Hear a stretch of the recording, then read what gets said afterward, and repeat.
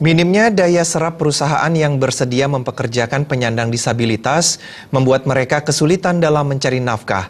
Menyikapi hal tersebut, pemerintah kota dan Kabupaten Sebali diharapkan turun tangan melalui kebijakan sehingga penyandang disabilitas dapat dipekerjakan sesuai dengan kompetensi masing-masing.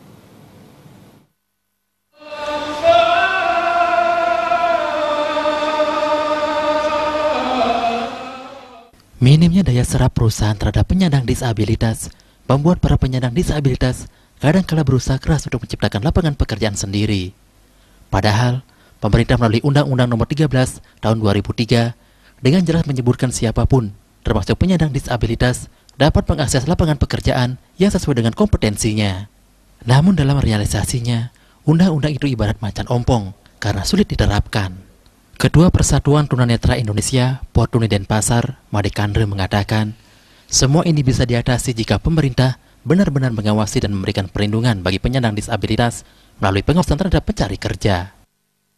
Nah, Niki, eh, dari pemerintah fokus memperhatikan juga penyandang disabilitas, terutama seperti yang tiang sandang Niki sebagai penyandang disabilitas tunanetra, mohon diperhatikan dan tolong dibantu untuk kemajuan tunanetra di setiap kabupaten. Nah, Niki untuk pemberdayaan kerja memang Niki terobosan agak sulit e, di Bali khususnya Niki.